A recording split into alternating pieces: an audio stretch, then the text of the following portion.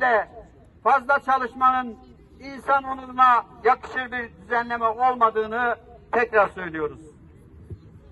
Maalesef bugüne kadar hükümet tarafından SGK personelinin kronikleşmiş sorunlarını çözecek, mağduriyetlerini giderecek pek bir somut adım atılmamıştır. Kaldı ki Sayın Bakan'ın ilave fazla mesai ücreti verileceği müjdesi ve ardından 100 saat fazla çalışmayla karşılaştığında 54 TL tutarında 3 aylık dönemde kimlere verileceği bile belli olmayan bir müjde adı altında açıklama yapıldı. Ancak bu 3 aylık müjdenin de yarayı sarmaya yeterli olmadığını biliyoruz.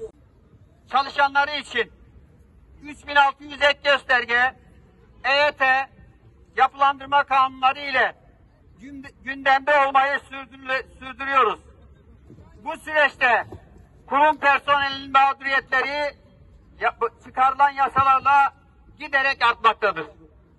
Öyle ki asgari ücret düzeyinde olan maaşlarla hayatını idame ettirmeye çalışan kurum personelinin iş yoğunluğu mobbinge ve yaşam stresine dayanacak kadar gücü kalmamıştır. Psikolojik sorunlar başta olmak üzere bir takım sıkıntılar baş göstermeye başlamıştır. Yeni atanan memurlar maalesef göreve başlayıp bu ücret düzeyini gördükten sonra memuriyeti bırakmaktadırlar. Neden? Çünkü maaşlar kiraları dahi ödemeye yetmemektedir.